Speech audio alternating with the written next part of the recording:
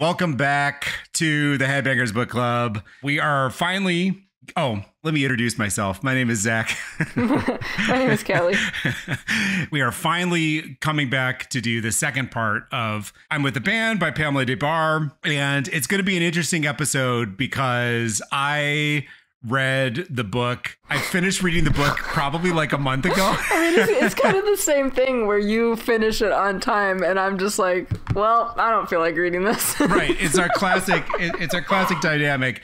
And so we're gonna do this. Um, we're gonna do this kind of meatloaf style where. Uh, because I also switched to audiobook for the second half. So I Oh, I don't really have a way to easily go back and review what I've read because my original audiobook? it's good. It's not quite Sebastian Bach level in both a good way and a bad way. It's more polished than Sebastian Bach's. So, Yeah. you know, and that's the reason why in both a good way and a bad way. Um, and it's not even really a bad way. It's just in a like it's it's not as hilarious as Sebastian Bach's because it's actually something that you can imagine somebody who's not like a hardcore Skid Row fan or uh, somebody who podcasts about rock biographies that you can actually imagine someone listening to it like you know wanting she has a, a much more pleasant voice than, than Yeah. sebastian bach uh, well, she, you know, she does podcasts, right? She has a podcast. oh nice i'll have to check that out She, yeah, I, I subscribe to it, but like most things, I will bookmark things and Right. leave tabs up and subscribe to things and then never actually watch them. But what I have done is watched her YouTube channel, which I've actually really been enjoying. I subscribe to that and um she just kind of talks to you. I watched one actually just before we were recording where she talks about 200 motels and her experience with that. And a lot of it is like, oh, you can read about this and I'm with the band. Right. But it's just kind of like interesting that she has like a do a house tour with me type of YouTube channel. Or like there was one where she uh, gave a tattoo tour, which I thought was very cute. And um, she Was shows dave navarro her- a, guest on on that Unf- unfortunately, no. unfortunately, BFF, no. Dave Navarro. Yeah, yeah. She does not have a Liv Moss tattoo. Um,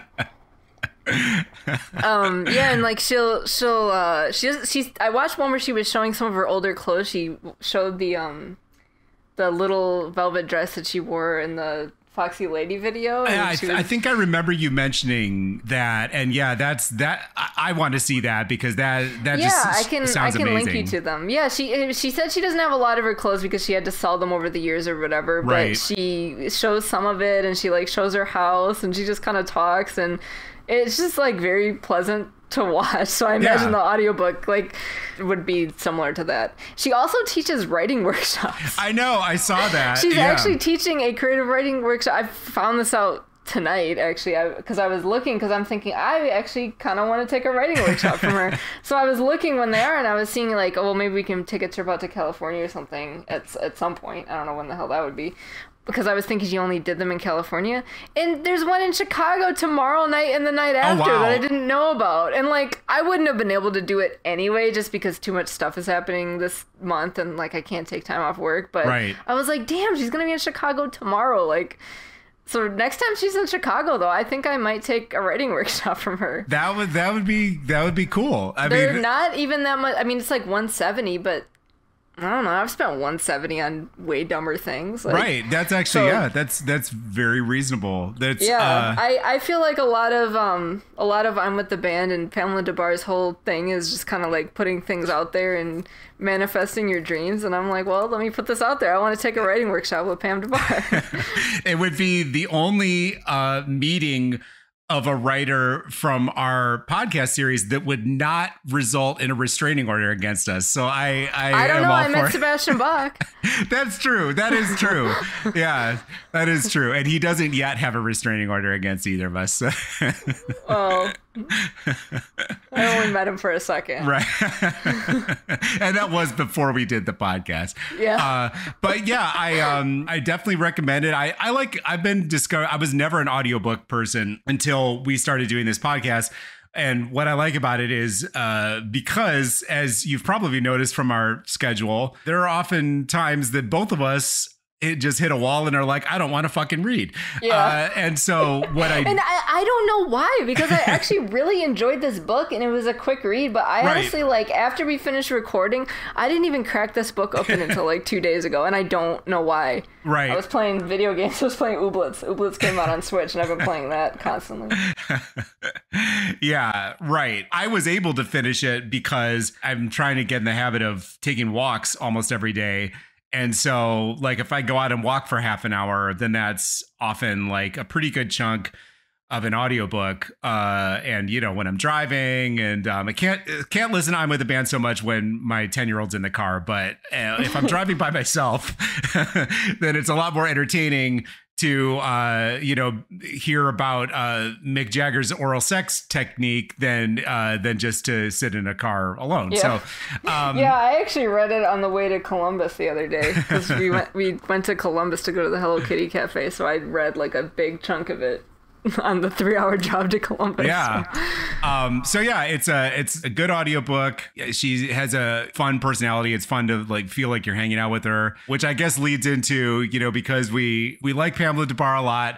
Uh, I guess that leads into us to our our formal apology.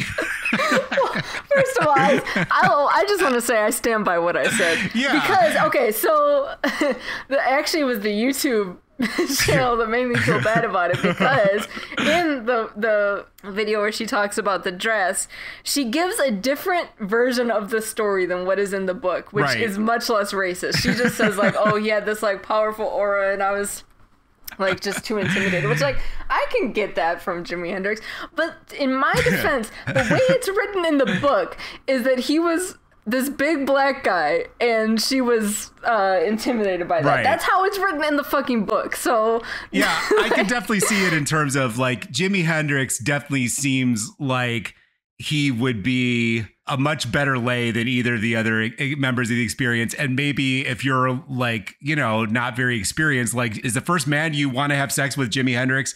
Probably not. Is Noel Redding a safer speed to take, you know, like for your for your first go? a, safe, a safer speed but is he also someone you want to have sex with Well, yeah, there, there's the rub.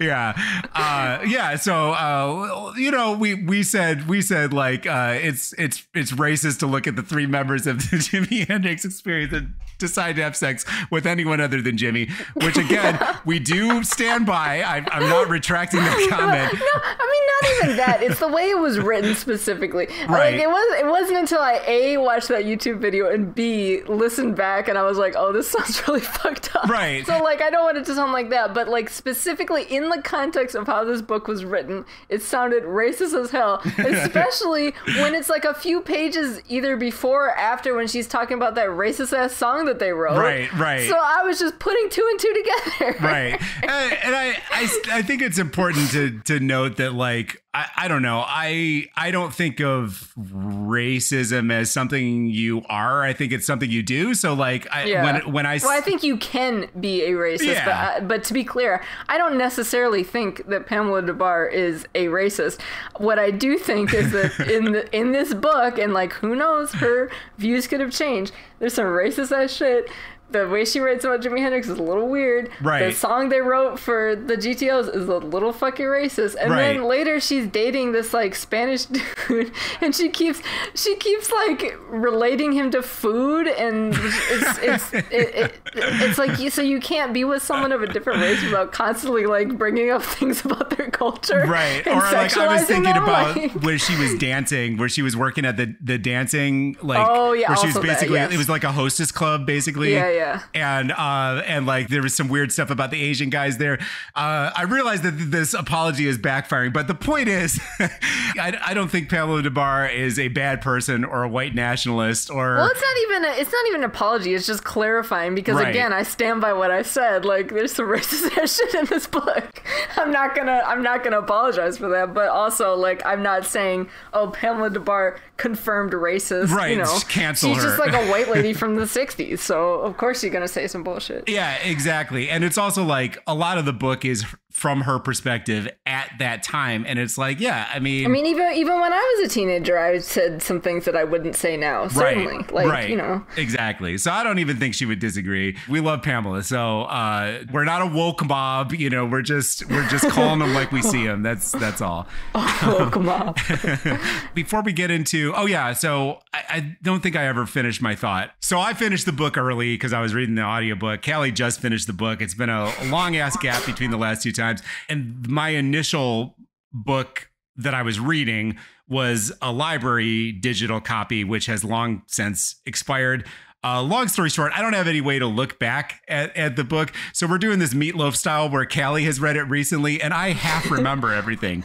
Uh, and and I, I will say I, I have some confidence in it working because I thought the meatloaf episode was really good, and maybe actually not fucking remembering details will uh will streamline things, and and like we'll just go talk about the important stuff. Um, or it might suck. I don't know. Uh, but Hey, either way, you know what else? Um, this is kind of veering off, but like last time when we were talking about like if we were in the 60s and also groupies and it would be we would be in Michigan. So like who who would we sleep with? right? I forgot Meatloaf was in Detroit. Oh my God. Yeah, So Meatloaf would be a contender. right actually there the like when we think about it that way there are like a, a lot of options actually honestly i would have scott scott Asheton in his prime was kind of a babe Yeah, he was a hunk well, uh, i mean Ron Iggy, Asheton, too. obviously I thought Wayne Kramer used to be pretty sexy. yeah i would make out with wayne Honestly, kramer. I would I would smash Meatloaf. yeah yeah me, young meatloaf. Yeah he was uh nude a lot for for hair so you you know you know what you're getting yourself into. Yeah there were there were a lot of there were a lot And of options. Mark- i mean Mark fucking mark Farner. farner? Yeah My exactly. See, we're on the same wavelength. Why didn't we say him way sooner? Have I already told the story about? It's not even that interesting, but like, there's a picture of Mark Farner on a horse, and like for my birthday, I always share that, and it's like when I say I'm a Sagittarius, this is what I mean. And it's just Mark Farner shirtless on a horse. i'm pretty sure we talked about that in the meatloaf yeah, episode well, there actually you go. There's the story again. Enjoy that. um Ta- so- talking about memes is always the the best part of any podcast. right exactly Talking about a meme that verbally you made that explaining no a one cares about. All right. Uh, so before we get into this, before we get into this uh, this experiment in in memory, I do have some comments uh, to to go through. I'm going to focus on. So we've gotten some good ones um, all over the place, but I'm going to obviously focus on the ones from the last Pamela Des Barres episode. Um, I do want to call out. There's there's there's two from old ones that I want to call out in particular. Uh, Did we get any funny ones this time? kind of. Um there's one i want to respond to because i want to respond to it and there's one i want to respond to because it's funny and, and confusing. So um so this this first one was for um the led zeppelin episode. It was william william sherman and he said wow i remember reading hammer of the gods when it first came out and being totally jealous of these guys, especially Jimmy Page, which A, I think is funny because we like um completely eviscerated Jimmy Page in this in this podcast. So oh, and he he's gonna get more of it. This Oh yeah, episode, yeah. for the, sure. the second Jimmy Page shoe de- definitely dropped in the second half of the. Uh, yeah, so we're known non-fans of Jimmy Page, but I also wanted to say I would be curious, William Sherman, how old you were when you remember when, when Hammer of the Gods first came out, because if I, I think it's a very different experience reading Hammer of the Gods before and after thirty. Um, Oh, I agree. I agree because you know I never I never liked. I mean, I always liked their music, but um, when I was a teenager and I read this, like I still thought it was funny, and I was like, "What the fuck?" They're like shitting in shoes, that kind of stuff. Yeah, I don't know if but I felt remember jealous. having more. I, I didn't. I definitely didn't feel jealous. I mean, it is probably a little bit different when you're a teenage girl versus a teenage boy, Right. But like, um, I feel like I had more fun reading it. Like it was still long as hell, but I had more fun reading it as a teenager. And this time it was just a slog through hell.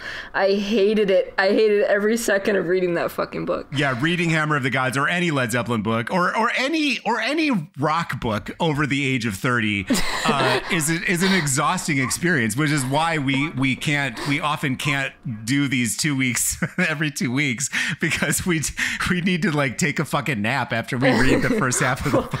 to, be, to be clear, I actually like Pamela Des Barres's book is easy to read and fun to read. I just didn't want to fucking read because I was playing Ooblets. yeah, that is, yeah, it's that's that's true. This was not this is just a buried ad for the game Ooblets on Nintendo Yes. Switch. It's all this is all just elaborate uh, viral marketing. Yeah. Um, and I think I, I think it's it, it also influences what member of uh, Led Zeppelin you identify with because um, definitely was more in the John Paul Jones camp than I've than I've ever been.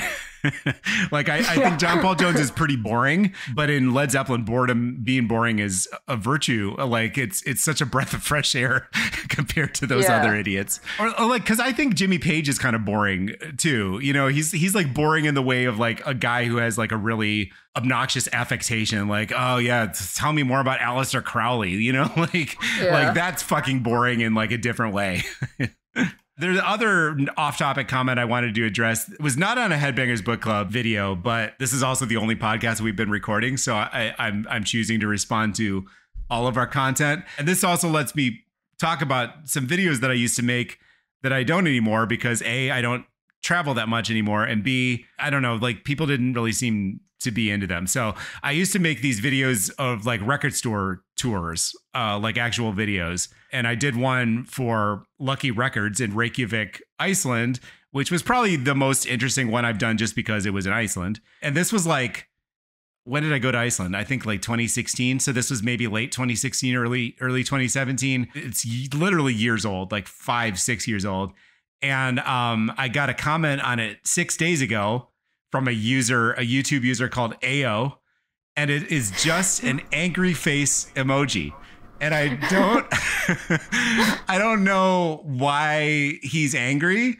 I don't know if it's if he's the owner of a rival Reykjavik record store and he's upset that I am giving Lucky Records free publicity, or if he's mad at me for some other uh, transgression I've done against him and is just scowling. He came across another one of my videos and is scowling at me in the comments.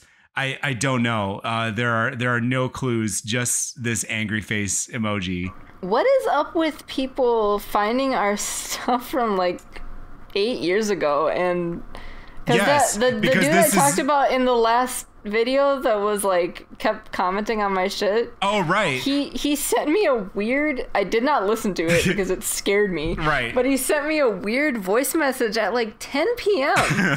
and I was just like, um, I'm gonna block you now because what the fuck is this? yeah, that is weird. And this and this was like a month or two after the whole thing where he was commenting on my photo went down. So it was like two months later, and you're still, I don't know, upset, I guess. And then he sends me a voice. It was like 10 p.m. on a Sunday. yeah, It's weird.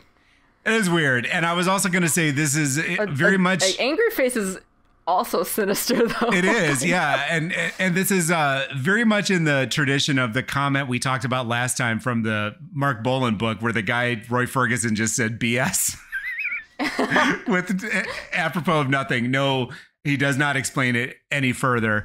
Um, so uh, so yeah, we keep getting these weird cryptic uh, comments, and luckily. Neither of us care what anybody on the internet thinks. So, um, and now a few from our last episode. Um, I want to say thank you to Pamela Des Barres for retweeting us a couple times. I think I feel like we got some some attention from that. Uh, so that's a that's Pamela Des Barres one, Sebastian Bach one, Morris Day zero, uh, oh, also, Meatloaf zero. But in his defense, he's, he's mean- dead. he's retweeting us in spirit. Um, uh, it was Pamela Des Barres's birthday on the 14th. Of this month of September. Oh, that's right. And I was sad that I didn't get my shit together. I know. so I was like, this would have been a great time birthday. to to launch our second podcast. We could have Yeah, really timed this. Yeah, made it look. not, yeah. not even a little bit. But happy birthday, Pam. yeah uh, and thank you for retweeting us so i feel like we we got some new some new listeners um, which probably came from from that i would imagine so this is one free country is the youtube account said such a good choice nicely done so thank you Jukebox Cowboy said he's looking forward to part two. Uh, thanks for looking forward. Uh, it's finally here. Our friend Jay May said, Love this. I know the GTO's album is not great, but I love it. And Pamela has great stories. P.S. I was around for Buttgate, which I. what is that? oh, is that the hemorrhoids? I don't remember because it feels like we talk about butts a lot. I know. It, uh, yeah, I was you- like, is that the hemorrhoid thing? you're gonna have to narrow it down. Oh, maybe, yeah, maybe that was. You know, because if, if if anybody listens to has been around for long enough to listen to the hemorrhoid episode, I, I think, or or um again for for those who missed it, anal fissures. That I should actually. I was just I was just in our studio. I'm sorry, I, I'm I'm digressing again. Uh, I was just in our studio section on YouTube, and there's like you know analytics about click through rates and, and stuff like that. And I saw that our average length of a listen when somebody clicks is like 12 minutes long. And I should l- listen to that episode again and find out exactly how far into the video I say anal fissures and see how many people drop out at that point. and that might encourage me to not talk about my anal fissures until the end of the podcast in, fu- Well, in future episodes. Yeah, exactly. but next time. Um, so yeah, I feel like if anybody was listening back that far, uh, J May would have been one of them. So um, that makes that feels I, I, I feel great knowing that he's known about my butt problems for four years. This this complete stranger still a listener. exactly. Yeah, it makes me it makes me feel um, you know not disgusting. Like so that's that's always it's a, nice feeling. Um, so yeah, those are we got more comments, but um, I'm not very focused. So let's let's move on.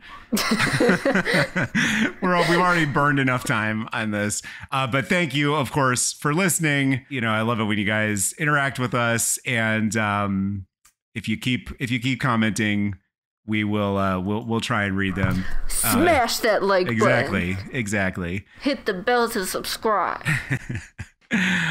I'm with the band. Um, let me open up my table of contents and see if something can jog my memory. If I recall, uh, we were so hold on. Let me go back to we were on chapter six. oh yeah, chapters. Yeah, it's a gas, gas, gas. That was the that was the first episode Yeah. we read. This is this is jogging my memory because everyone is like a man that is kind of the main theme of, of, of the chapter. So this was like I thought of this as the Mick Jagger chapter, and this was interesting because I don't think we really talked about this, but Mick Jagger did show up. I mean, we we talked about her whole thing about starting out as a Beatles fan and then becoming, you know, becoming a woman. So now she's a Rolling Stones fan.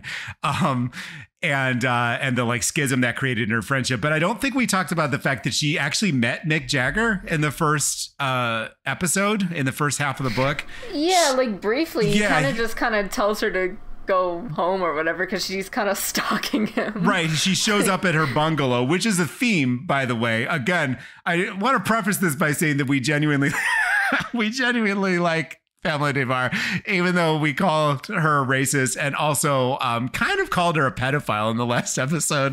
Okay, Uh, but she was writing a creepy song about kids. right. In our defense, these are not these are not completely unprovoked attacks on our character. Uh, but you know, we genuinely like her. But there is a, I mean, there's there's a point at which like where's the line between groupie and, and and stalker, right? Like it's it's it's a fine one. I mean, well, later on in this episode, we'll talk about her The Marlon weird Brando? relationship Oh with God. Marlon Brando, which was full on stalking. I'm sorry, it was. yeah, can you? If it was a basically, if it was a man, um, it would be uh, incredibly like Marlon Brando would have uh, called the cops. Um, so yeah, she shows up at uh, the bungalow where the Stones, I think all of the Stones are were staying in like bungalows in LA. And Mick is like uh he sees her through the window and he's kind of like, Yeah, get out of here. Yeah. so this I is think he's like, go home, pretty girl, or something like that. And she's excited that he called her pretty girl. right, right, exactly. Because he was probably he could probably tell that she was too young. And, he, and he's not Jimmy Page. yeah, in a, in, a, in a rare for these books uh, sign of restraint, he he sent her home. but now she's you know an adult and sort and like running in the same circles, no longer just showing up unannounced at Jimmy P- at, at uh, Mick Jagger's bungalow. So now he is a sort of a, a legitimate prospective conquest for her and she's also this is like who was the man she was on the out was it still fucking chris think- hillman No, it was Jimmy Page. Oh, it was Jimmy. She was That's dating right. Jimmy Page. that's right Which is like, I'm sorry. Doesn't matter how serious I'm about Jimmy Page. If I'm with Jimmy Page and Mick Jagger wants to have sex, I'm jumping ship I so mean, fucking fast. Yeah, like 1971. Oh, no, yeah, no, not even what- 71, even- Nick. even 69, now, Nick. It even was now, even, even now, would you rather fuck Jimmy Page now or Mick Jagger now? The answer is clear. yeah. And I've already, we've already mentioned in the last episode how funny it is that like Mick Jagger was so sexy at, in this like late '60s, and now he's just like kind of goofy dad, and he's still sexier He's still than sexier Jimmy than Jimmy Page, like by a lot. Uh, yeah. Uh, there's. Because last time we left it as they, we were saying, you know, I can't believe I'm saying this, but Jimmy Page doesn't seem like a complete sack of shit. And Well- we we were mildly surprised by that, but we also knew that you know Well, yeah, we read the book. We know what happened. yeah, we knew what was going to happen. And so, um, sure enough, he um, basically ghosts her pretty much. I mean, there's some, there's a little bit of like, he like sends her a fuck, he sends her some, or she sends him a, some Aleister Crowley shit. Yeah, Cause he you know, asks he asks her to go look for this stuff, and she finds something, and so he sends her something back. Yeah, like a like a right. jewelry or something. and then, yeah, and for a while they do the thing where he's like, um, you know, oh, I'm in LA, I'll, I'll come see you. But then it, it's, it's like to the point where, you know, he's coming back and she knows he's coming back and then he won't call. Yeah, he's a and- fuckboy. Yeah, right. Yeah, exactly. Meanwhile, here's, you know, Jimmy's like doing this weird keeping her at arm's length fuckboy thing. Well, because he's too busy fucking fourteen year olds. Right, exactly. And Mick is there and he's interested and he is again objectively sexier than, than Jimmy Page. At, at any point. He- even at even at peak page. Uh, so she, you know, tells Jimmy Page to fuck off and goes with Mick Jagger, as any right thinking person would. But it takes a little bit because at first she's kind of not doing anything with Mick serious because she's trying to be faithful she's trying to, to, be to yeah, which is like, are you kidding me? Jimmy Page is having John Bonham shit in all his girlfriend's shoes. right provoking. You should be so lucky that you didn't have your shoe shitted in. Like, right. Yeah, she uh she's honestly she gives him too many chances, and that's that actually kind of brings up something. So last time we were talking about so uh, you know I just said there's a fine line between groupie and stalker, and last time we also talked about how there's a fine line between groupie and just like modern dating.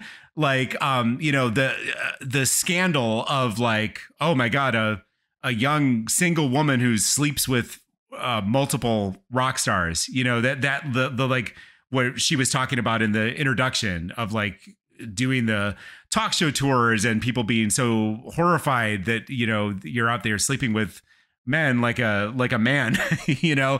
Uh and i feel like nowadays it doesn't really read that way. It's it's not like oh she was so promiscuous. I'm honestly reading it and i'm like man she's got a pretty low body count like compared Yeah. to you know just your average person Well, nowadays yeah. I mean, like even like uh, a lot of this book just reminds me of me in my early to mid twenties, where I was just like dating and sleeping with a whole bunch of emotionally unavailable men. It's just like it, it wasn't Jimmy Page. Right, it was just yeah. some shithead from Detroit. yeah, exactly. And so this remind like it reminded me more than anything of like because again I'm old. Um and so I was reminded of Insecure on HBO where it's like young people just making terrible decisions and i'm just like sitting there watching watching it unfold.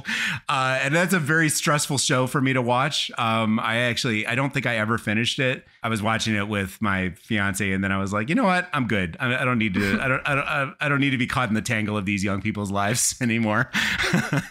So yeah it gave me that it, it, it gave me that feeling. It was it's like some there's some like watching a train wreck uh, in, in, slow motion sometimes, but also yeah. relatable. You know, I, and, and, also like you. I mean, like she's smart and it, like making dumb decisions, but again, like who among us and right. like and she ultimately makes the right decision and she always so comes out can, of it yeah it's it's honestly it's uh, it's always the the men who come out of these things looking shitty like yeah um, Yeah, and I mean, you could argue that it's her perspective, so of course that's the case. But like, we know Jimmy Page. We read right. Jimmy Page's book. He like, eh, like all these guys, uh, um, and and like some of them didn't come off looking shit. Like Mick Jagger, you kind of tell who treated her okay yeah. because you know she's honest about everyone. Like, um, I think the last time she sees Mick Jagger, he's like trying to get her to have a threesome or whatever, and she just says no or whatever. But like he he's still like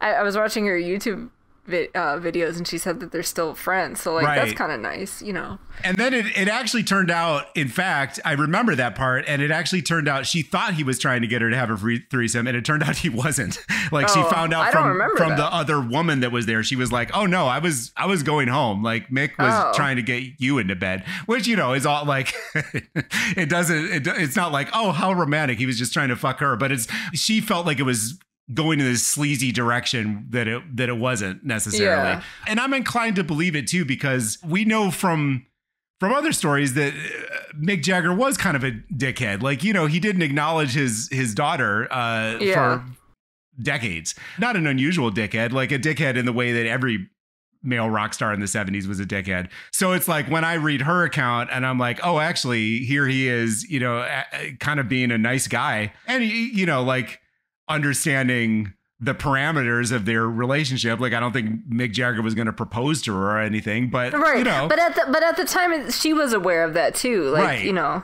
and compared to Jimmy Page, you like fucking string her along and then was like, oh, by the way, I'm married.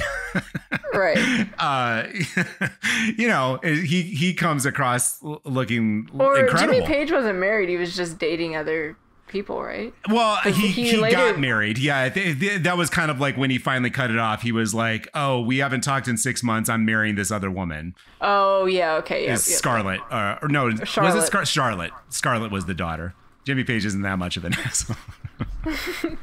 my first note in this chapter, this is a little bit unrelated, but my first note of this new reading is I just highlighted the word swank pot Rod Stewart. That's right. I remember that. Because I guess him and uh, Ron Wood wanted to crash on her floor. He sent her a letter. I don't even remember what happens with this. I think like. Yeah, she just calls him a swank pot. Right. I, I don't know funny. if it necessarily goes anywhere. I, I, that's so. It's very cute to me that Ron Wood and Rod Stewart were like an, an item, like they were a package deal. Like yeah. you need to house both of us. don't ever talk to me and my son ever again. Yeah. now I need to make that. It'll be uh, one of my another, series of Rod Stewart memes. Explain the no. You know what though? We've talked about this a little bit before, but there are all those those pages that are just like I found like a Robert Plant meme page, just like a Beatles meme pages. We could start a Rod. We need Stewart to see if page. there's a Rod Stewart meme page, and if there oh my god, I, if they have all of the sailor jokes that we've been telling for years, I will kind of be upset. Honestly, I don't even know how to search for this. Yeah, if anybody knows of any good Rod Stewart meme accounts, uh, let us know. and if there isn't, if there's a market for it, I mean, then come on. Yeah, there. The, I think we found our calling because I, I actually get a lot of Rod Stewart. I mean let's quantify this. I don't really do. I, it's not like I make a lot of like get a lot of meme ideas. I'm kind of like I'm I'm I'm of the oldest They, I think you're legally allowed to know what a what a meme is, and my brain, my old brain, doesn't really work that way. But when I do want to make a meme, there is a, I would say, sixty six percent of the time, it's it's Rod Stewart. Uh, so I think that's my problem is that whenever I think of a funny meme, it's like, oh, Mark Farner on a horse or something. But but then I think that and I'm like, oh, nobody likes these memes. And then I find one of those fucking Beatles meme pages and they have like thousands of likes, and I'm like, what the Exactly, fuck? exactly. Clearly, I'm like missing my calling here. Right. It's that, yeah, the, this Gen Z boomer Venn diagram that we need to tap into. Uh, and in our case, they also need to know the urban legend about Rod Stewart sucking off a ton of sailors because that's also going to be 90% of the content, I think. um, so, anyway, um, yeah, the main thing that I'm remembering from this chapter is um, I already alluded to it. There was some insight on Mick Jagger's cunnilingus technique, which all I remember about it is like it makes sense, you know, if you think about his mouth.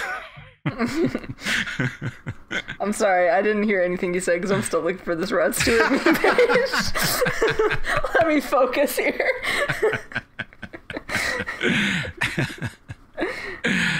Another thing, um, like with the Mick Jagger thing is, and she met. I keep alluding to the uh, the YouTube channel because I've watched a lot of Pamela Des Barres' YouTube channel, but she mentions this in the book, but she kind of expands on it in um, one of her videos where she says like Mick Jagger was kind of the one who brought Jimmy's cheating to her attention because he was just like, well, what, what do you think Jimmy's doing right now? Like, Oh, he's not, yeah, he's not being right. faithful. I mean, I like, you know, there might have been some ulterior motives to that because he wanted to sleep with her, but it's Right. still like, yeah, he's not wrong. I think also Jimmy is deteriorating. Uh, maybe not quite at this point because this this whole storyline kind of goes through the whole 70s, but it starts getting to the point where like, you know, he comes back and now he's strung out on heroin and he comes back and now he's, you know, dressed up like an SS officer and it's like yeah, yeah. She just- mentions that later. There's like a whole. Th- it's, it's she roasts Led Zeppelin. It's Yeah. so funny. The only only member, I mean, other than John Paul Jones, but really the only member who comes out looking okay is Robert Plant, which Yeah. is so funny because that's like a complete 180 from Richard Cole's like prissy version of Robert Plant, which I never thought was. The, the case because uh, like I, I mean obviously I don't know him but he always just seems like a pretty like normal guy especially Right. compared to everyone else in that fucking group I know. Yeah, and the and I uh, like that he was nice to Pamela Des Barres. I wonder why she didn't just sleep with him because he's also hotter than Jimmy Page. Right. Like again, ob- like objectively, he doesn't seem like he's going to cough up blood after he orgasms.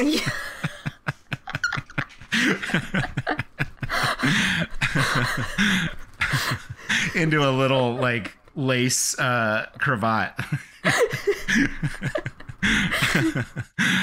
um what else happens in this chapter? I mean, genuine genuine chapter, question. is this the chapter where she fucks uh, Waylon Jennings? Uh maybe. I know it ha- it happens a, a couple of times. Oh, she talks about the GTO album, and we kind of talked about this before, but she um like talks about how they didn't know they were being recorded. like Right. they only found out when they listened to the Right. finished album, and which is classic There's like Zappa, yeah. Which I, I think it's so funny that like you know she's so still so respectful of him. Which I mean I think that's fair. I think he was a nice guy, but it's just funny that I'm like okay, but he was recording y'all without y'all's Right. consent. Yeah. like that is a little weird. Right. Well, I guess of all the things that were happening without people's consent in uh I mean, yeah, having- having your conversation recorded is like compared to the fucking what's his name, the guy uh with the puppet child, uh v- Oh, Vito. yeah. Yeah. compared to Vito and his crew, uh Frank was like fucking Norman Rockwell. So um that was actually this is this is a total digression, but this ju- that just jumped out to me.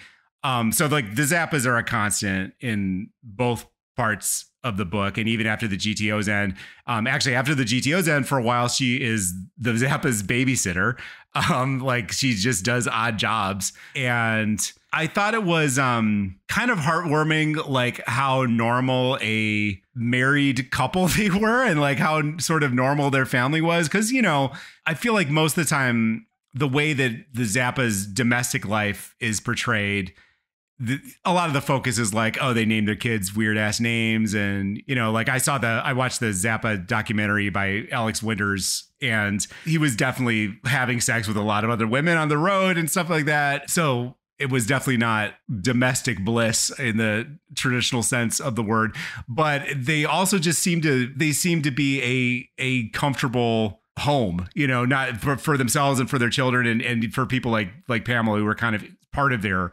extended domestic sphere. So I just thought that was kind of nice. Yeah, I think like also I I don't know the details because I haven't looked into it that much, but I think Moon Zappa and not have a great relationship with her mom, so I don't know what the deal is with that. So I think there's a, there's a there's a lot of stuff that's not. Um, I, I mean, obviously, from the outside looking in, it looks different. Right. I bet. So Yeah. it's like you can't completely take Pamela Barres like feel about the Zappas like like you said, I don't know that it was domestic bliss, but yeah, I know what you mean. Like it, it, in general, it is kind of like just like a family. Like you, you don't think about that for any rock star, really. Right. And, you know, what you said trig- triggered my memory that I think in the documentary, Moon was talking about how, like, she did Valley Girl with Frank because it was basically like a way to get him to pay attention to her because he was Yeah. he was always just like locked up in his basement doing music. So she's like, uh, let's do this song together. I can do this impression, you know? So yeah, again, like not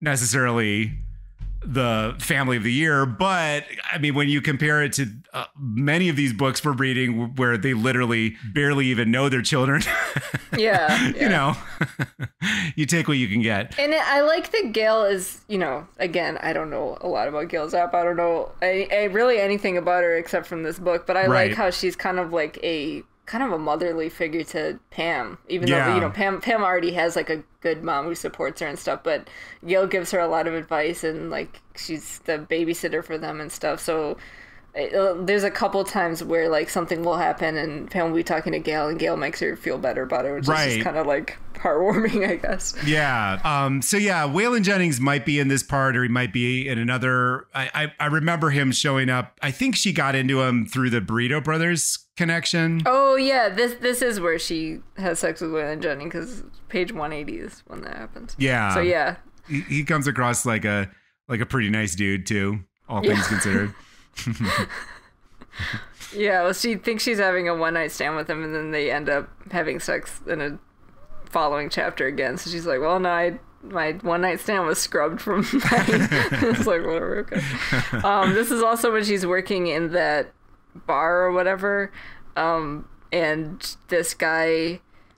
He's from Michigan, of course, but this guy from Oh, Michigan like drove out there and he wanted to pay her fifty bucks to just rub her feet, and she doesn't take the fifty bucks. Oh my god. And and my note just says, "Girl, what? Take the money." I know. I know. you got a foot rub and fifty dollars. what? And you're like, "Oh, I just took the twenty dollars and felt guilty. Guilty?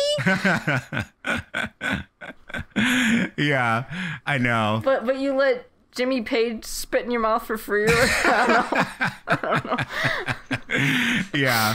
The second half of the book is interesting because like we got kind of the more I mean it's never really that glamorous cuz like you said it's it's a lot of the rock star liaison stories are just kind of feel like um fumbling misadventures from someone's early 20s you know so Yeah. like glamour is maybe a strong word but we got we got like the oh you know she's in this hip scene and like this nascent subculture in, in LA and all these famous people are around and blah blah blah in the first half. And now she's kind of like she's not even that old. She's in her like mid 20s at this point. Yeah, but I she's think sort she's of like twenty three or twenty four. right, but she's sort of aging out of the groupie thing um because Well, especially since the groupies got younger, specifically in the early seventies, it seems like. Right. Yeah. Which again, because they're congregating at Rodney's English disco, a known haven for fucking creeps. Yeah. So, so you know, there you go. Like, uh, the, the it's gonna drive the ages down. It's just. I thought this part of the book was kind of funny, where like Sable Starr and Lori Mattix show up, and they're like just bitchy to the older Yeah. groupies. So she's kind of adrift. Like these relationships aren't really working out, and the GTOs didn't pan out. I, I think I, I don't remember how much they get into it here, or if this, or if I'm mixing up my my sources. But I, I know that like who was I think it was Miss Christine, and maybe one or two of the others started doing heroin, and Frank Zappa was obviously you know that was a, a deal breaker for him, and so he kind of lost interest because of the drugs thing, and and just because of his I, I guess how how far do you take the GTOs as a concept? Like how many GTOs albums are, are there going to be? So it just sort of fizzles out. I think at one point Todd Rundgren is going to take them out on tour, uh, and then that doesn't pan out. but shout out to Todd Rundgren for showing up again. I think we Yeah. we were just mentioning how he's he's a bit player in of many of these books. Yeah, Steven Tyler does not appear in this. Shockingly, I know. Yeah. I think Steven was I also know that- looking at younger women. Yeah. and I don't know that Pam ever really hit rock bottom, so it's not like she was ever in rehab. Exactly. She didn't take drugs. So Exactly. that's generally where he appears is in people's rehab stories. It's usually the like uh the turning point. Like I was so low that Steven Tyler was at rehab at the same time as me. Tyler here. So she's working at this nightclub which is like basically like i i mentioned it earlier it's it's basically like a japanese hostess bar. I guess they had those in america too. Um where it's like it's not i mean it it, it kind mean, of it's- it it's- is kind of sex broadly work. sex work yeah is sex work. it's, It's like just the lightest service sex version of sex work. yeah. So she's like dancing with men and basically just like making them feel good about themselves. Like they're mostly not the most attractive men. And this was the part that i was saying uh wasn't like fully on board with how a lot of them were asian and that seemed to be the problem with them but again Yeah. you know it's the it was a different time et cetera et cetera like like sebastian bach always says Yeah. uh It was a different time. we should just um we should take a sample of that and just drop we need we need more we need a soundboard. we need more soundboard. this podcast Morning Zoo soundboard.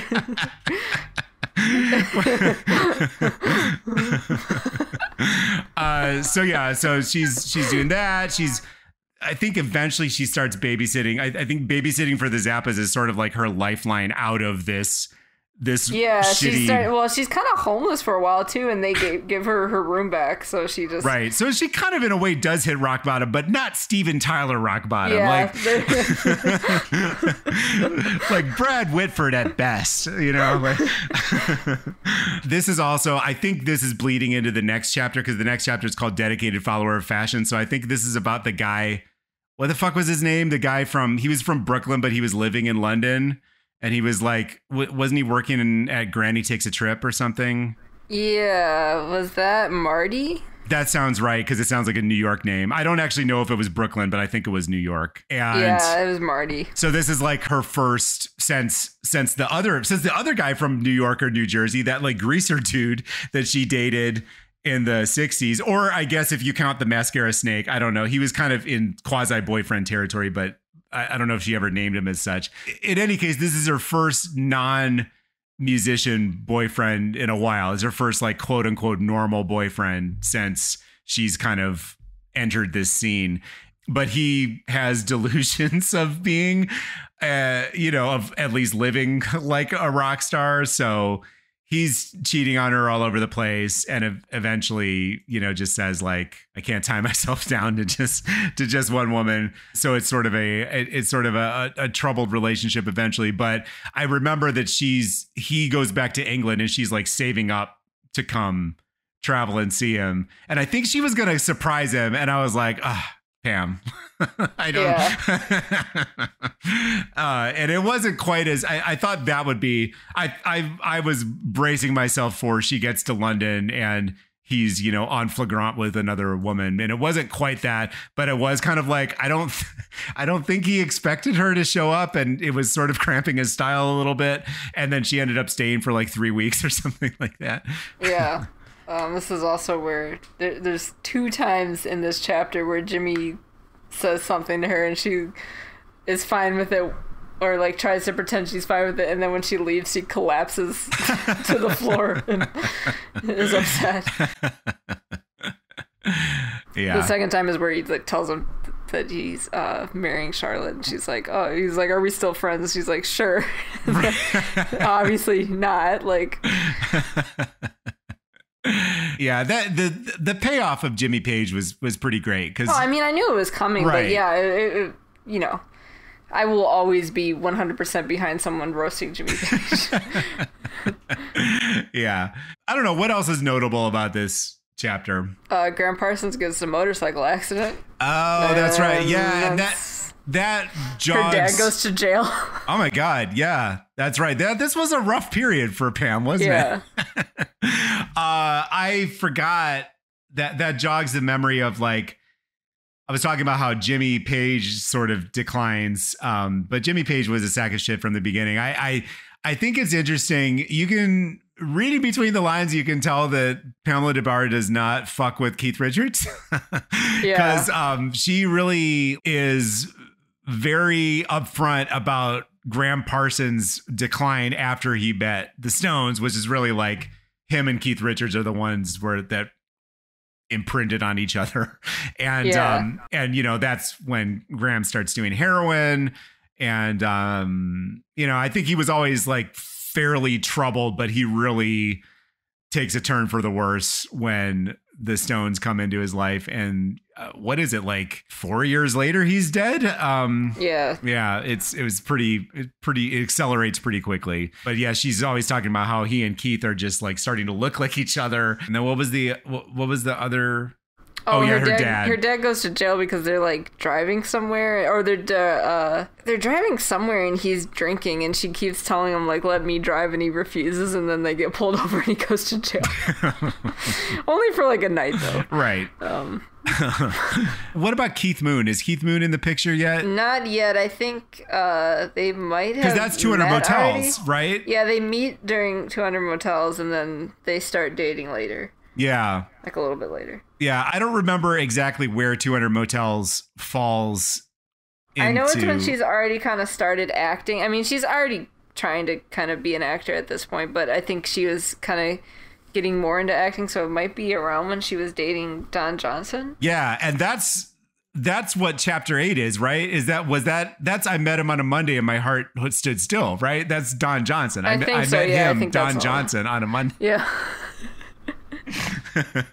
so yeah, Don Johnson, I was I was excited for that and I was surprised to see that this was like this is real early Don Johnson. Like I I think like most people when I think Don Johnson, I think Miami Vice, Heartbeat, you know, like um his 80s when he was at his sort of commercial peak. And um but this is the Don Johnson where he was first making westerns basically uh what what was the movie that they Zach Zachariah that that was the one that they talked about right Yeah. yeah this is like real early Don Johnson which um makes it surprising that he's he's emboldened uh to be a, as much of a shithead as he is Yeah. because he's like very controlling and um oh my god the whole um when uh, when he uh, lies to her and says that she gave him an STI, and then it turns out that he was just trying to get her to admit that she Oh. had sex with with Mick. Was it Mick Jagger? I think it might have been, yeah. Yeah, it was Mick Jagger. And then his whole thing with Melanie Griffith, which that was very interesting because they're immediately like rivals, but Melanie Griffith is a child. Yeah, I thought I was interested with that because I'm thinking I understand the jealousy, but like I feel like my first thought would be like my boyfriend or fiance is interested in this 14 year old. Maybe I don't want to be with this man. Right. And not like, hmm, she is barely having her period yet. Like, just kind of like catty stuff like that. Right. It's like, well, it's a, Right. I don't know. I wouldn't want to be with someone who's A, cheating on me, and B, cheating on me with a child. Yeah, it's a very it's a very 1970s dynamic. And and I one of the amazing things like I do not think Don Johnson comes off in this well at all. And they end up becoming friends. they're yeah they're they're they're friends to the point that they meet Dave Navarro together Yeah. 30 years later Yeah. and um and like Pamela and Melody Griffith are are lifelong I friends and- understand her and Melanie Griffith That becoming makes- that friends. makes I, more I sense. don't understand her and Don Johnson Right. becoming friends, but I'm a much more petty, hateful person than Pamela Des Barres is. And the, that is true. I don't know if I have anything else. I I think like you said the the whole uh accusing her of giving him whatever it was, gonorrhea or chlamydia or whatever it was. He Um, just, I think he just says, a, she says a social disease, and then it turns out that he literally was lying about it because she had been to the clinic and gotten like a shot just in case, right. um, and he, neither of them needed treatment, and he was just making it up to get her to convince, con- Right. confess. Yeah, that's probably the the worst. Uh, I guess I I mean technically the worst thing he, he does is uh enter a relationship with a minor, but Yeah, yeah. Enter a relationship with a minor while still in a relationship with her. right. Yeah, so it's so like doubly, it's, it's like morally and like ethically. legally, ethically. yeah. yeah, but uh the the STD thing is up there. And then also just like I, he's he just seems like a chauvinist. Um so yeah, he doesn't come across great. Who's the other? She's dating another like I think it's Keith. I think it's Keith Moon. She keep well. She, I don't know if she's ever dating him. It seems like she just goes over to, to his house occasionally, and he is upset that he killed his roadie. right. And they ha- they like role play. Right. The, this weird, like, he's a, I mean, so they meet because I guess I was trying to connect the dots because, so like, Don Johnson is into acting. And I think that's one of the things that kind of gets her because, you know, she's interested in starting to act because she's um, in this relationship with him. And I think also just being in LA, you're very actor adjacent in general, you know. So that's kind of one she's like, well, I can't just make cowboy shirts my whole life. Uh, you know, maybe I'll explore being an actor. And one the first opportunity she gets is obviously 200 Motels with Zappa, which I think I watched it fairly recently, but I think most of her parts are not in it. I think she's I think she's because she was supposed to play an interviewer, um, and her part was cut because uh, Theodore Bikel wouldn't say fuck, or he wouldn't, or he wouldn't be in a scene where someone was saying fuck. yeah, yeah. so basically, they couldn't film her her scene, and I think there's a I think like there's a huge 200 Motels box set that came out a year or two ago that I've listened to on streaming, and I think there's an audio recording of her part, but not it. It didn't make it into the into the movie. Um, Yeah. uh, and I mean the movie is also like borderline unwatchable. yeah, yeah. I haven't watched it in years. I I watched it. I think I found it somewhere in, when I was in high school. right. I watched it then. It is on Prime Video, at least Oh, last it? last I checked. So if you have, if those of you listening out there, if you have Amazon Prime Video, it is definitely worth the watch on that. It's it's very short. I think it's like an hour long because that's probably all of the usable footage they could get. and um you know, it's it's not a better experience than just listening to the 200 Motels album, but I think it but it's I like that kind of shit, so I, I I think it's a fun movie, and also it has uh, Ringo Starr um, playing. Yeah, that's that's the funniest part. That's like one of my favorite comedy tropes is having someone who kind of looks like you play you. right. It's funny. Like when I when I was um, a teenager, me and my friend, my best friend, had this idea for a sketch that we never made, but it would be that we would have like something happening, and then we would go back in time and it would show like a reenactment. And we would be playing each other, and so my friend has blonde hair, so I had like this crappy blonde wig, and then I have curly hair, so she'd be wearing just like an afro wig. That's so confusing too. Like that's that's the best thing about it.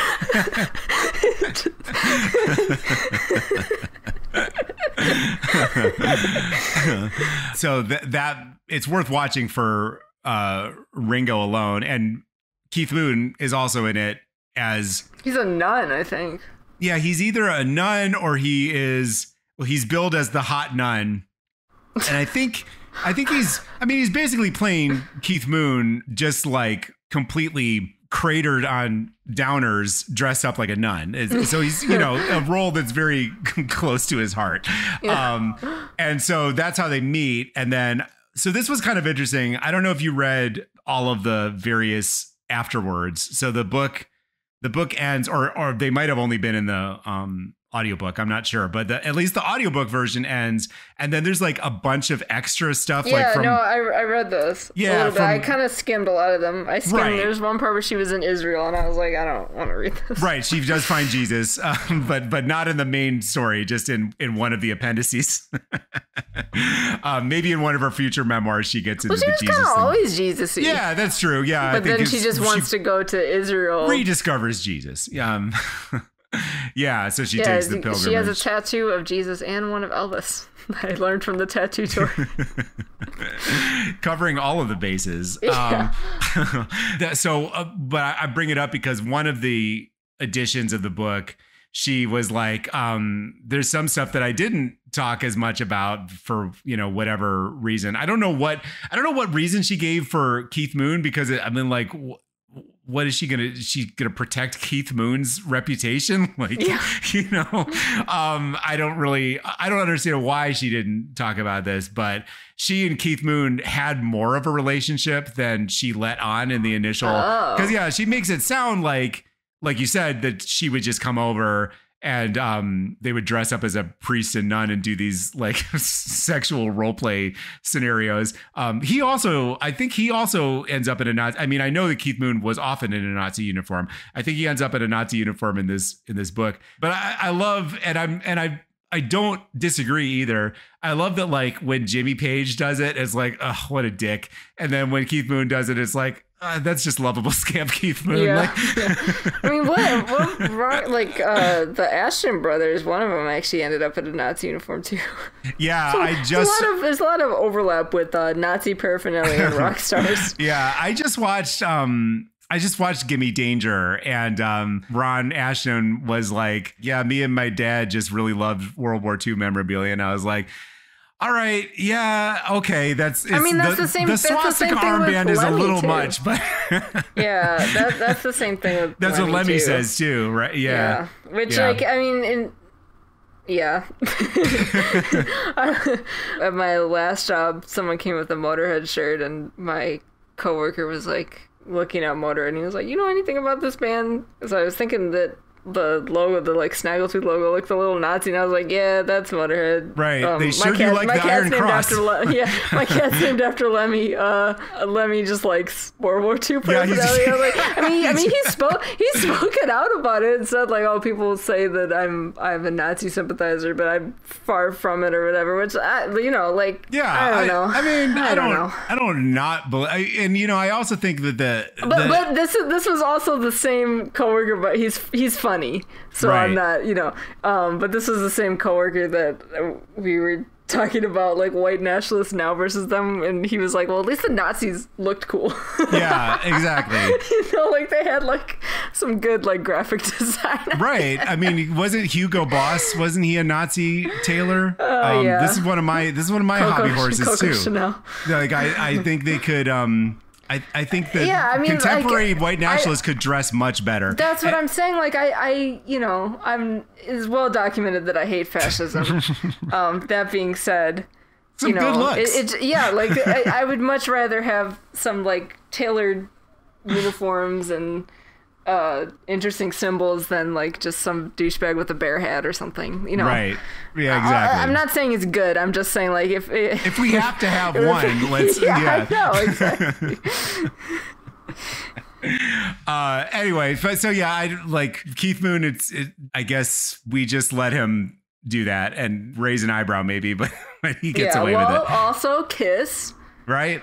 That's Who- true. Who That's in it? true. Was it was it Ace that was in the he knocked on? Right. on, uh, yeah, but Gene's Gene, door? Gene was not Gene was not happy about that though. I mean, understand. Gene was not giving him a pass. yeah, I mean, un- understandably so. I don't think. To be fair, like let me be clear, none of them should have a pass. Yeah, but I- I'm just I- saying that that like- happens a lot in rock music. Is Right. People dress up as Nazis apparently. Yeah, I feel like knocking on the door of your bandmate who you know had Is parents that lived an- through an- the an- Holocaust. Well, yeah, and as an immigrant from Israel. right. I I feel like that uh, is a little more pointed than um, you know Keith Moon dressing up as Colonel Klink or whatever. So uh, I, I thought that was really interesting that in her in her appendices she's like um, she really of all of the men she talks about, she seems to carry a torch for Keith Moon the most, um, which is very interesting. But um, yeah, he's a mess as as we know. Um, I think was always had some kind of undiagnosed mental illness, and then I think was he especially his drinking got really bad after he ran over him. it's not funny. after he ran over his uh, chauffeur because he he also could not drive and he insisted on driving and was probably drunk and and killed his chauffeur and that basically I think Pamela Des Barres heavily implies and, and I think it's generally it's been a long time I, I read the book Moon a long time ago and I would not be surprised if it was like depression over that that played a significant role in his early death so um, yeah, it's a he's a, a, a bummer story, but they there's some they they have some laughs first. yeah. the acting thing kind of goes on for a long time. She's so yeah, she's in 200 motels um sort of oh and, yeah keith moon pays for her uh the admission oh yeah her union her union card yeah that's yeah. right yeah that's right um so that is really kind of where it takes off um, she's in a soap opera called Search for Tomorrow. I did not I I did not do the work of of looking up any of these to like see if I can find her, but maybe maybe I'll do that. Uh, probably not. Maybe yeah. I'll, I'll do that. Maybe I'll do that eventually on my own time. She's in Slaughter's Big Ripoff, which I thought was funny. I don't think I've seen Slaughter's Big Ripoff, but um, what a weird experience to be watching a black exploitation movie with Jim Brown and yeah. Pamela Des Barres shows up. Like, yeah. of all the places, that's probably uh, the least likely place I would have expected to see her. And then she was in Arizona Slim, and that was the one. She writes a script with um, Don Johnson, doesn't she? Are, not they like I working on a project together? Um, I thought for a minute that that was Arizona they were in a Slim. Movie. They were in a movie together. Okay, that's what I thought, but I I didn't see I didn't yeah, see John I think it was Johnson Arizona Slim. Maybe he's uh, a minor role. Oh no no no! Arizona Slim is where she meets Michael Barres, I think. Oh yeah, that's right. Yeah. But they were in a. I I thought she was in. Maybe she was in a movie with Don Johnson. I do enjoy. Uh, I don't fucking remember this. I read it a couple days ago. I don't remember. Um, I do enjoy that. Like she writes about how Don Johnson is coaching her, and like there's one where she says that Donnie says I'm a good actress, and all I need is more colors. Whoa, I'm really getting there. I value his creative opinion with my life. Like, what the fuck is he talking about? I love that that excerpt could either be completely sincere or dripping with sarcasm like yeah depending on how one reads it yeah well i feel like it was sincere and then right. and then its inclusion in the book now right. is sarcasm. yeah. We mentioned this before, but one of the things I really like about this book is you get that, like we were talking about earlier, the, you know, Hammer of the Gods at 18 and Hammer of the Gods at 30. You get that in one book because it's her as a full grown adult looking back at the things she wrote then and presenting them often without comment but you can read between the lines and you you can see the the point that she's making yeah um, yeah I don't remember the specifics, but I think it was like I think Don Johnson might have been helping to make Arizona Slim because I think the guy who played Arizona Slim might have been his friend. I don't know, but anyway, that was probably her her biggest role other than 200 motels um oh i guess maybe the soap opera would be the biggest role but yeah like you said uh that is how she meets michael des barres I can't remember who fell through. There was like they needed a scene with an English rock star, so they were like, "Well, we well, know just the person." Well, first she's, she ends up breaking up with Don Johnson first, like because right. I mean, he like hits her at one point. Oh my god! Yeah, that's right. That? Yeah, that's right. I, I yeah. keep I keep having to revise the worst thing that Don Johnson does. Yeah, well, that's what I was. That's why I was mentioning that because I'm like, well, yeah, he, he also hits her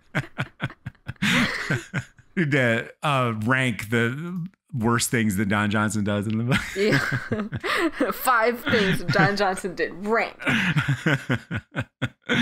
Um, oh, was it the Harrad experiment or Harrad experiment? And that's the one that Melanie Griffith is also on, and where he starts cheating on her. That sounds. It? yeah. I think that, that might have been the movie they were together in. Yeah, and it then was it's a while. It's a while after. I don't think she's with Don Johnson at all when she meets Michael Des Barres. She's Okay. just still acting. okay. Oh, and this is also where she starts talking to Marlon Brando. Let's yeah, talk she- about she- Marlon Brando. Uh, Yeah. So so what happens is like the whole he hits her and then they kind of like he's gonna be with Melanie and so she kind of like gives up on him and kind of moves on and she's just kind of jumping from man to man a little Right. bit. Um, this is when she's with Fernando and he's just like a hairdresser and Yeah. um, it's just like a list of people she was with. Yeah, and there's this like there's this actor, isn't he from like Middle America or something? He's like a real Yeah, she's with him all American kind of dude uh that she's Yeah, kind of- so first she starts because I feel like she Marlon sees him at the same time as Michael Des Barres, but anyway. A little bit before. Yeah. So she's already talking to Marlon Brando at this point, which is like she gets I think she gets his she got his phone number from her friend Michelle and she starts leaving she calls it semi pornographic slash spiritual messages on his answering machine. Um and she just keeps calling him and, and writing to him and so now a lot of her a lot of her diary entries are no longer like diary entries they or letters like to letters to Marlon her friends they're letters to Marlon Brando Yeah, that um when I read that I was like that is a great idea. I'm going to start writing a diary that is addressed to Marlon Brando. yeah.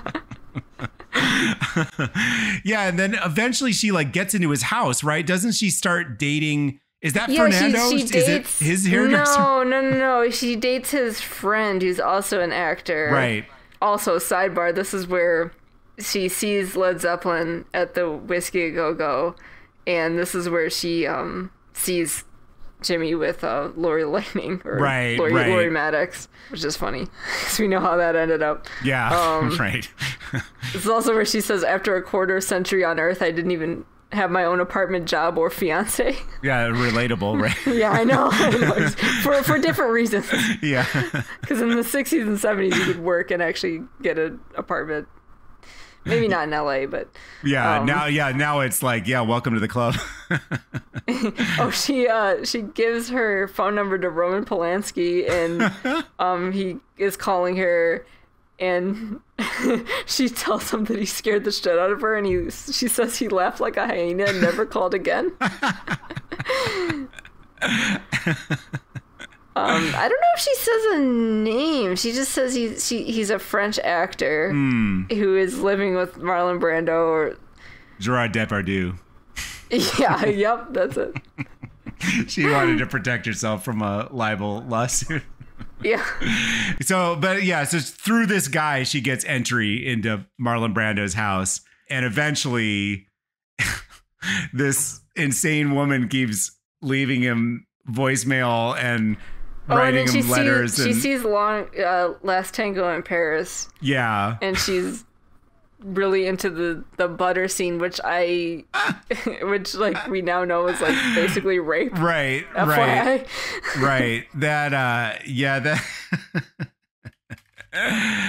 that you know this is coming from someone who is a straight man but like fully recognizes the sexual charisma of a young Marlon Brando but Marlon Brando in 1972 was not young um and I would Well, say she talks about this. She says she's into his like thinning hair and paunch. And- right, right. If yeah, if Which, I mean, Tango in. Paris is sexy, I think it is in spite of Marlon Brando and, and not because of him. Uh, I, it's been a while since I've seen that movie, but I, I feel he looks he looks like he doesn't smell great. Like uh, just his his character is uh, very very unappealing, and that's before he has Maria Schneider stick her finger up his ass or whatever.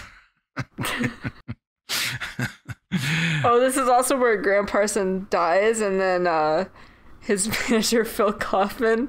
This is when like you know he takes his body out. and They try to burn it, and then he also has this like funeral where it's like or like a benefit where he has a whole bunch of uh Gram Parsons paraphernalia, and she's like, I bought all of it.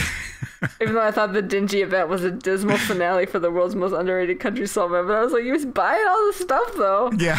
Whatever. I can't. I can't talk shit. I would probably do the same. Wasn't it for like legal expenses because Probably. he because he stole and uh, attempted to set on fire? My favorite part of the story is that they just like obviously they don't have a cremation level like, you- flame They didn't even burn the casket. like what? like singe it. yeah, that's a that's a great story. One of one of the great rock and roll stories. Oh, and then th- this is when she finally gets on the phone with Marlon Brando after she sees Last Tango in Paris, and he uh, he just tells her to look for her to herself for the answers. Right.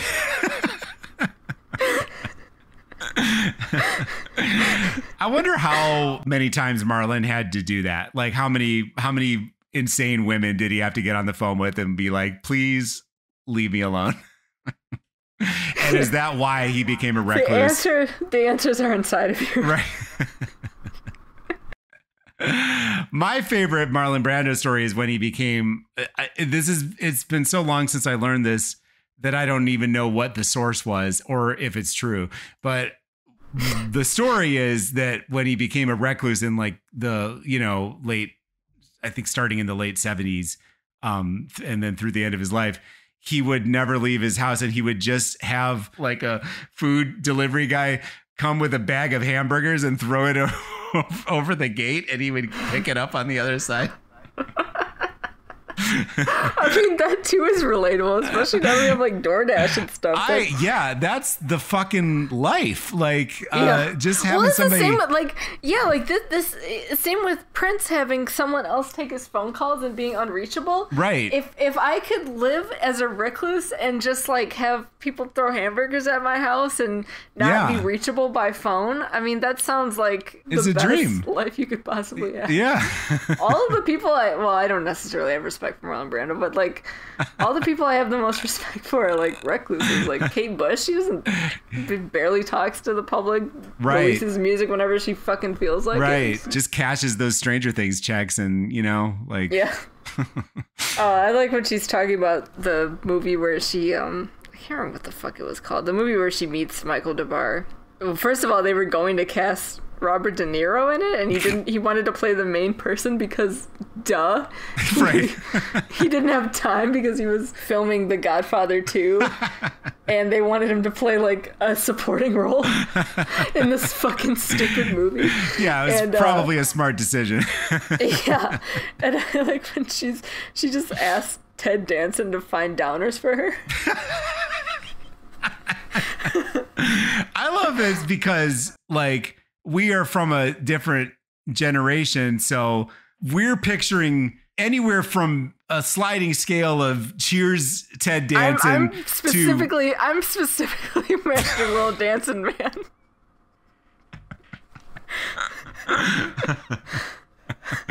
what about uh, what about Ted Danson when Whoopi Goldberg told him he could do blackface at the Oscars or whatever, or whatever that was. I don't I honestly don't remember that. When was that? Um, let me look it up. This is this is important. We need to we need to interrupt the podcast. I I just I just uh we go. I like Ted just Danson adding stuff because it's like now you have to add the skit Little Dancing Man into the show notes.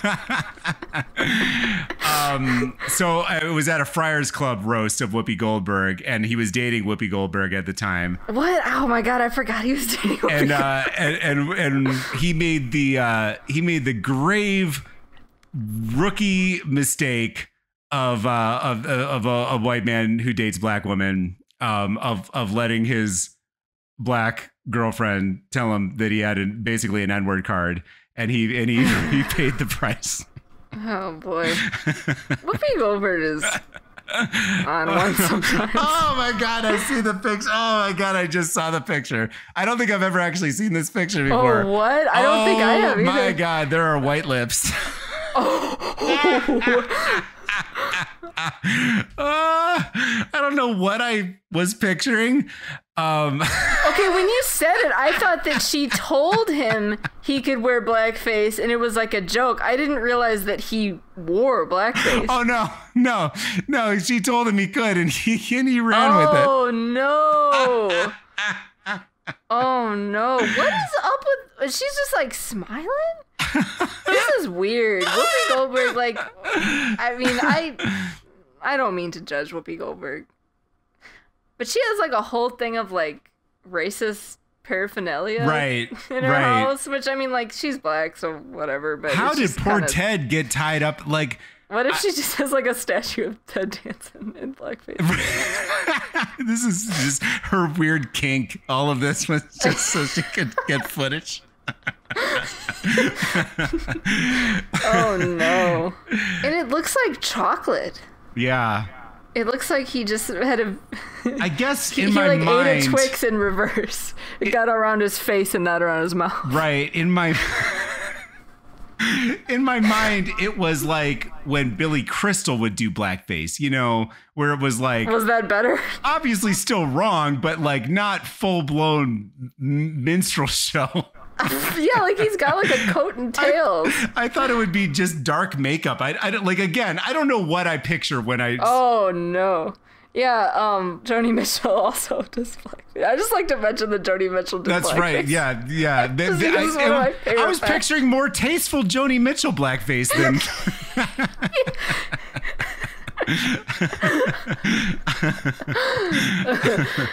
so anyway, uh, all of this is uh, this Okay, so because you, we mentioned so, the name Ted Danson, so that that was a um, like yeah, a five so minute to, derail. We have to drum up every time that they did blackface or Tim and Eric, I guess. Um, I forgot that Peter Cetera is also in the Little Dancing Man sketch. I need to watch that again. I don't think. Well, I, I don't you, remember. You gotta it. put it. You gotta put it in the show notes now because I exactly. mentioned it, and also a picture. I'm not gonna edit this out. Like this. This is the funniest thing I've. Ted Danson in blackface is the funniest thing I've seen all day. This is.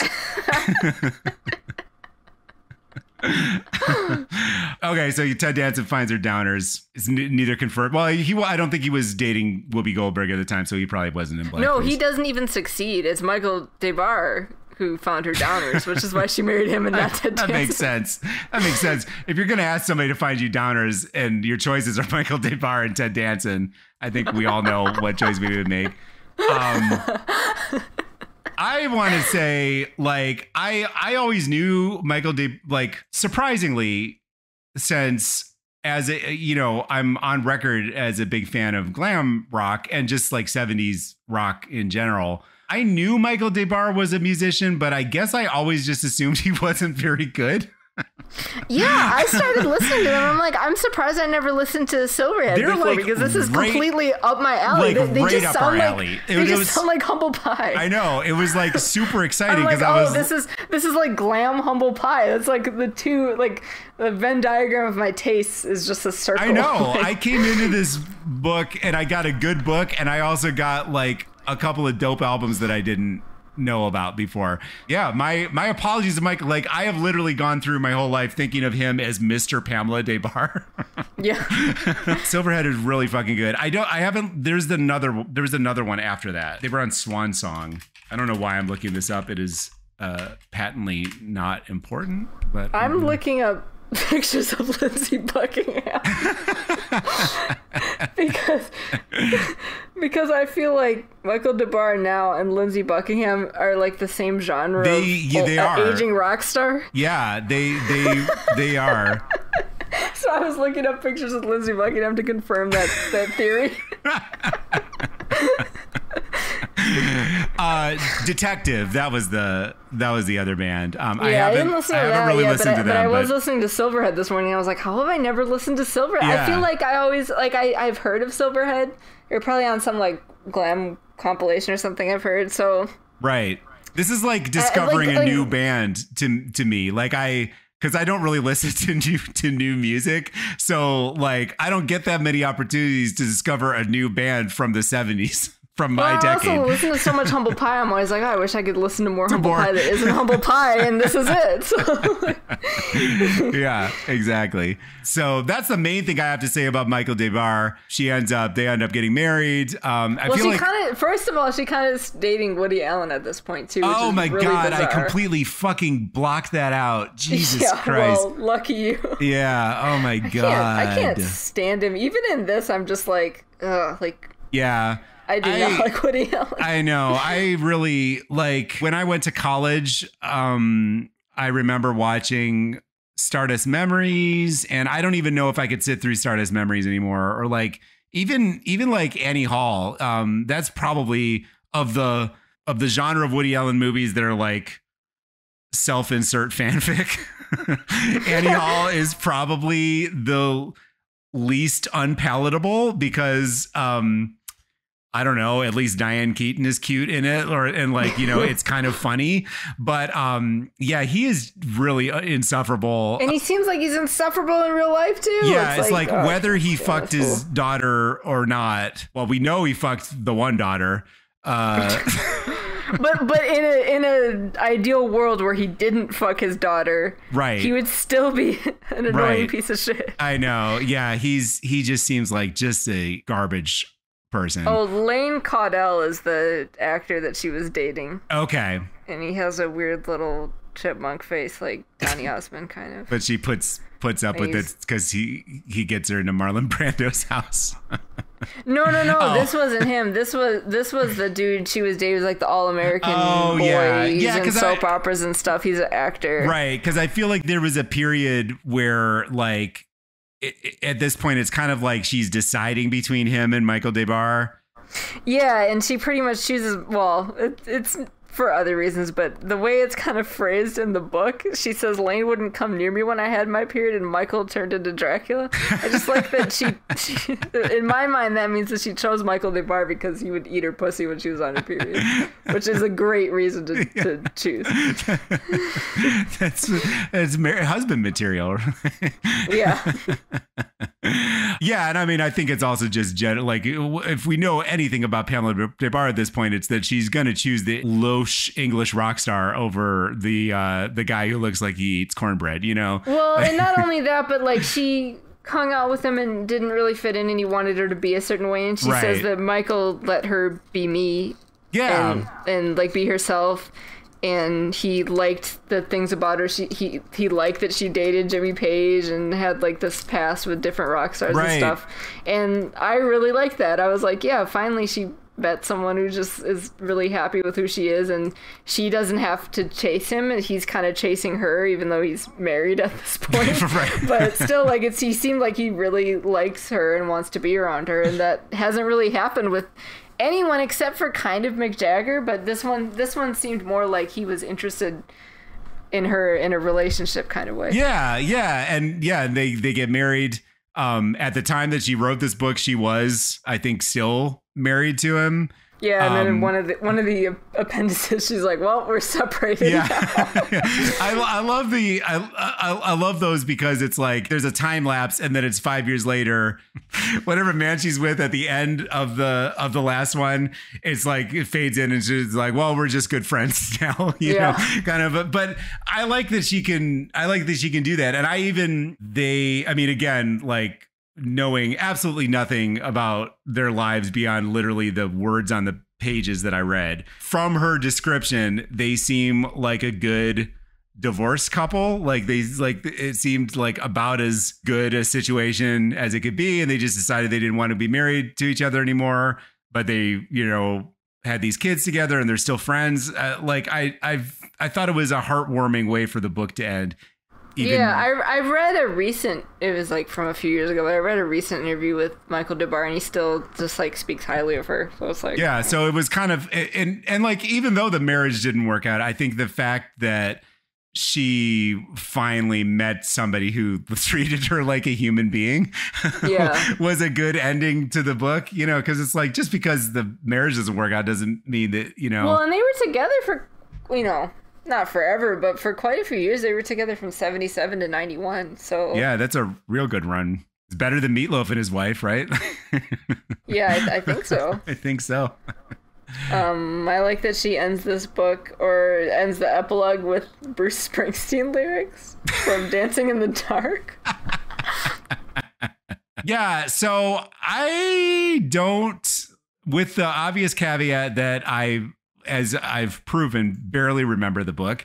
Um, I don't think there was anything else in particular that I wanted to talk about. Or did we miss any good like stories or whatever? Mm, Not that I can think of. Her son apparently makes video games. I saw that. Yeah, I wanted to see he is at least at the time that this was written, currently a game writer at video game developer Platinum Games. Oh, Platinum does Bayonetta. Um, Oh, cool.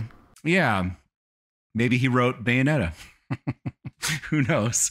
Um, Bayonetta is English, so maybe they they had uh, Michael Des Barres's kid as a English person consultant. yeah, I, he just wrote about Cl- Klonoa on uh, September 16th. I, I think it's this like Klonoa like pack or something. oh, cool. It says the good news, I got one. The bad, little bitches 10 buying marked it up double. I would have like it. well, I'm glad that Nick Des Barres and, and I both um, share a love of Klonoa, apparently. Yeah. so I I guess what I would say is this was another book that I I came away from it again still feeling positively disposed to the person who wrote it. I like you you said you've been watching her YouTube and uh listening to her podcast or or at least like are interested in listening to her podcast.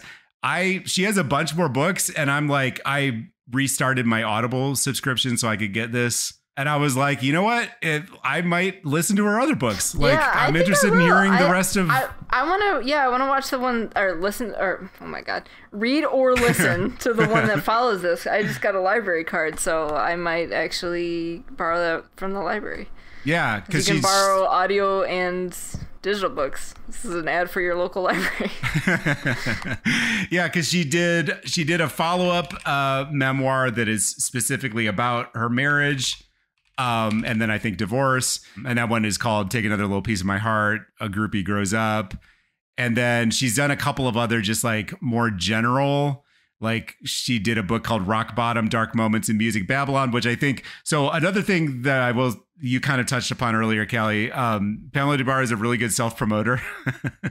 uh, so like every one of the afterwards is like she slides in a you know because she's there's a new edition of this book but it's like and i'm also working on this other book so like pretty much everyone you learn about what what else she's written so she Yeah. she talked about rock bottom she talked about this other book called let's spend the night together backstage secrets of rock muses and super groupies and that's like she does profiles. It's like a like a Profiles in Courage for groupies basically. So that one sounds super interesting.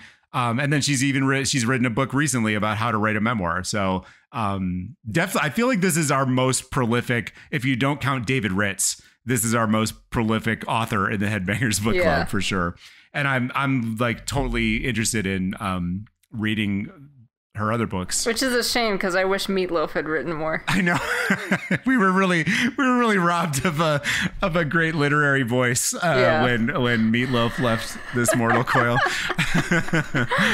Speaking of reading more books, I don't know what book we're going to read next. I'm going to throw this out here. We've gotten a lot of recommendations from people. Mm. Maybe we should pick one of those. Yeah, Uh, that's probably a good idea. I'm not reading. don't- I'm not reading another fucking Led Zeppelin book. Yeah, yeah, I'm we can rule if if that was on the list, we can rule that one out. But uh, yeah, I know that we've got a lot of recommendations. So what I'll do is I'll I'll look at the recommendations again, and um, we can pick one that we like, and we'll put it out on on social media or whatever, and let you guys know what we're gonna do. I don't know exactly when that's gonna be. It might not be in October because I'm getting married this weekend. And then we'll be on our honeymoon for a week, and then that puts us already in like mid October. And I So- will be playing Ubits. I know. So like equal equal weight of, of of life events, and you'll also be attending my wedding. So Yeah, I'll be uh, attending your wedding. I have a bunch of cons coming up because Yeah. my job makes me go to cons, and uh, well, it doesn't make me. Well, Yeah. it does, but I want to go, and I will be playing video games. So Yeah. um, you know, Um, real real busy schedule. maybe we can maybe we can do a non headbangers book club podcast just for the hell of it. Maybe we can do one of our one of our classic. Um, I've actually I've, I've been thinking I would like to because we always talk about we always get on Headbangers Book Club and talk about the things that we've been doing instead of reading the books. I think we could turn that into a podcast and do just like a what video games are you playing kind of a conversation. Okay. Um, we could try it. No one, no one will listen, but Yeah, we exactly. do it. So yeah, we we might do a, a, a rare non headbangers book club podcast next month, and then come back. Maybe November will be the next book. I don't know. We'll see. But uh, you can find out what we're doing next by following us on our various social media outlets. Uh, we're at Headbangers BC on Twitter and Instagram. We're also at Dystopian Tweets on Twitter and Dystopian Graham on Instagram. Basically, anything we say on one gets retweeted by the other account. So, you know, take your pick. Uh, you're probably listening to this on YouTube, but if you're not, we're on YouTube. Uh, if you are listening to this on YouTube, consider listening to us on something else. uh, I'm, I'm not going to tell you how to live your life. Uh, I'm just saying that I personally prefer to listen to podcasts on not YouTube. So, Yeah. you know, and if you're listening to this on something other than YouTube, like an like an Apple podcast or whatever, leave us a review. I did my whole spiel last time. Your your negative and positive reviews are equally welcome. If it makes me laugh, whether it's negative or positive, I will read it on the podcast and I'll send you a sticker. yeah, we have two ratings, and they're both five stars, so I can pretty much guarantee those are both us. Yeah, so if you want to knock us knock us down a notch, Yeah, right uh, now we're sitting at sitting pretty at five stars. Yeah, some of y'all would us. disagree with that, so come on. Uh, all right, thanks for listening. We'll we'll see you soon.